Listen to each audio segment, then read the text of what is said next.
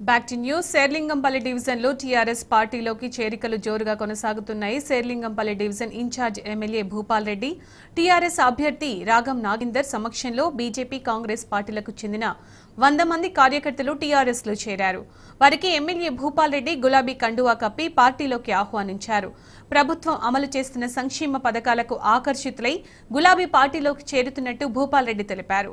విపక్షాలు చేస్తున్న అసత్య ప్రచారాలను ప్రజలు తిప్పికొట్టాలని ఆయన పోలీసులకు పిలుపునిచ్చారు